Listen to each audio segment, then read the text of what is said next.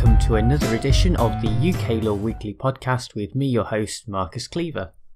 This week we're going to be looking at the case of Newbigin, a valuation officer, and SJ and J Monk.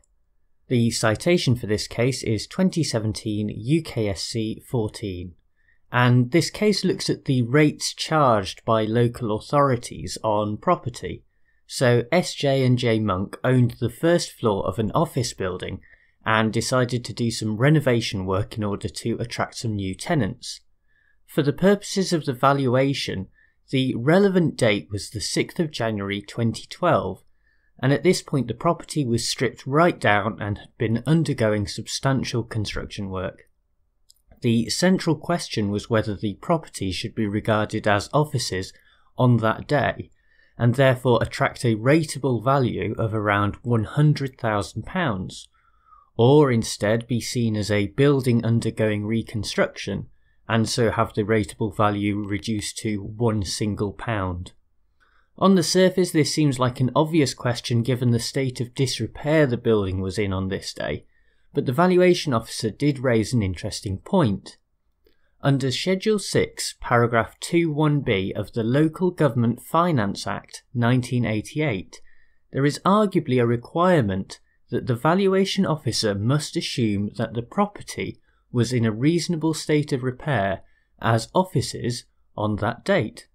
Furthermore, the definition of rateable value, according to that paragraph, is the rent the property could be let for on a year to year basis. This does assume that when the property is let, it will be in a reasonable state of repair, although there is no exception that the owner will undertake any repairs that the reasonable landlord would view as uneconomic. When this case came before the Supreme Court, the justices began by examining something called the reality principle. This principle basically states that when it comes to valuing a property for rating purposes, it should be taken as it exists on that particular day. In other words, the 6th of January 2012 in this instance. Even in spite of some of the wording in Schedule 6, this remains a fundamental principle in this area of law, and it should not be so quickly assumed that it is displaced by the assumption in paragraph 2.1b that the property is in a reasonable state of repair as whatever the property is presently rated as, i.e., in this case, offices. In other words, or to put it more simply, if the property is clearly undergoing reconstruction, then this should be the end of the matter and there is no need to consider the paragraph 21b assumption at all. Taking all of this into account, the Supreme Court came to the final decision that the offices were clearly undergoing reconstruction on the date of the 6th of January 2012 and so should be charged at the lesser rate as per the decision in the upper tribunal. Overall, I think that this case is hugely important within the context of the current British economy.